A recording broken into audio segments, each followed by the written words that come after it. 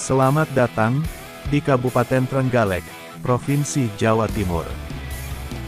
Trenggalek merupakan sebuah kabupaten di Provinsi Jawa Timur, Kabupaten Trenggalek, berjarak 180 km dari kota Surabaya, ibu kota Provinsi Jawa Timur. Kabupaten Trenggalek berada di pesisir pantai selatan. Tentu banyak sekali hal-hal menarik yang wajib kita coba ketika berkunjung ke Kabupaten Trenggalek. Namun, di balik semua itu, Kabupaten Trenggalek memiliki sebuah klub sepak bola, yang kini sedang berjuang, untuk mengharumkan nama Kabupaten Trenggalek, di percaturan klub-klub Jawa Timur. Klub tersebut ialah Persija Trenggalek.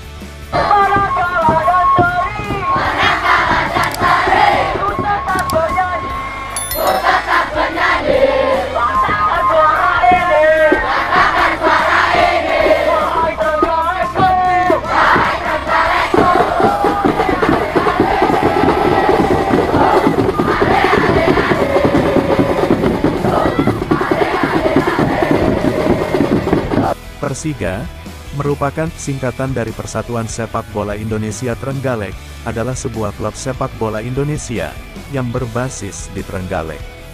Persija Trenggalek, saat ini berlaga di Liga 3 Indonesia, yang berada dua kasta di bawah Liga 1, yang merupakan liga tertinggi, di Indonesia. Persija Trenggalek, berdiri sejak tahun 1982, dan kini bermarkas di Stadion Menak Sopal. Stadion tersebut memiliki kapasitas 10.000 penonton.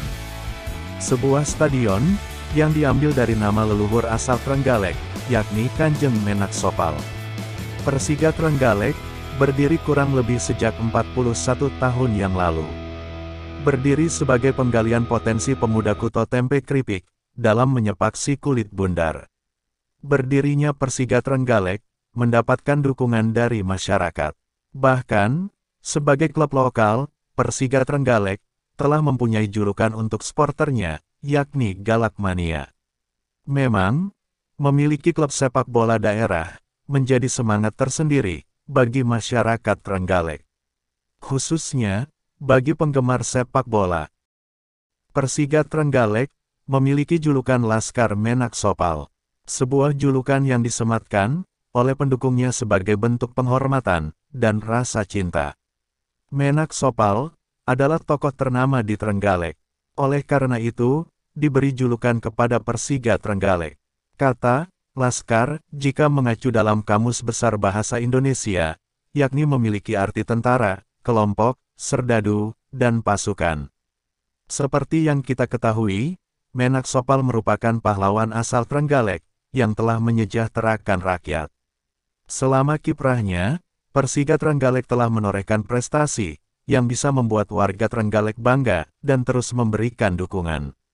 Prestasi tersebut di antaranya yakni, juara 1, Divisi 3 Liga Indonesia 2012, dan juara 1 Liga 3 Regional Jawa Timur, pada musim 2018.